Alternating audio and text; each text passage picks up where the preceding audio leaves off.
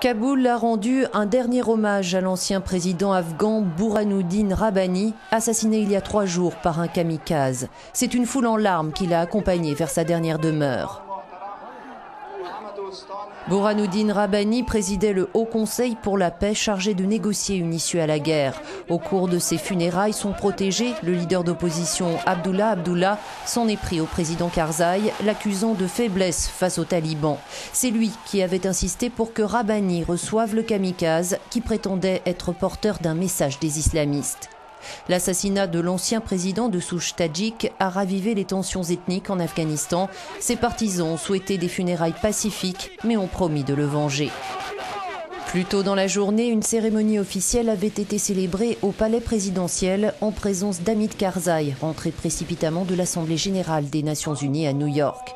Le président afghan a démenti toute implication dans la mort de Rabbani. Le centre de Kaboul avait été bouclé ce vendredi pour parer à tout débordement.